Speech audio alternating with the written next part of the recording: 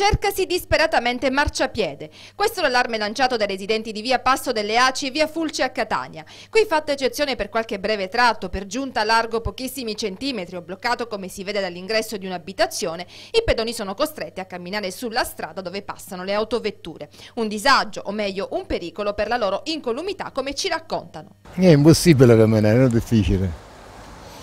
È troppo stretto e due persone non ci possono camminare. Meno uno ci entra, no? dove c'è il balcone.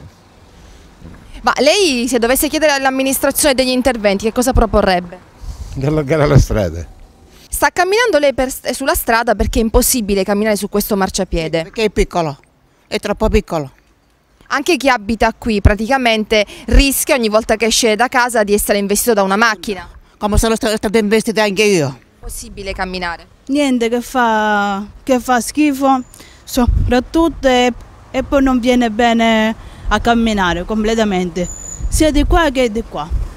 Un problema sicurezza dunque, specie per i residenti di via Fulci, dove il marciapiede è praticamente inesistente e che ogni giorno, prima di uscire dalla porta di casa, devono stare attenti a non essere investiti. Occorrono interventi tempestivi, iniziando magari a non far parcheggiare le macchine da una parte della strada. Una soluzione tampone per alcuni abitanti del posto, che però reclamano a gran voce l'attenzione dell'amministrazione comunale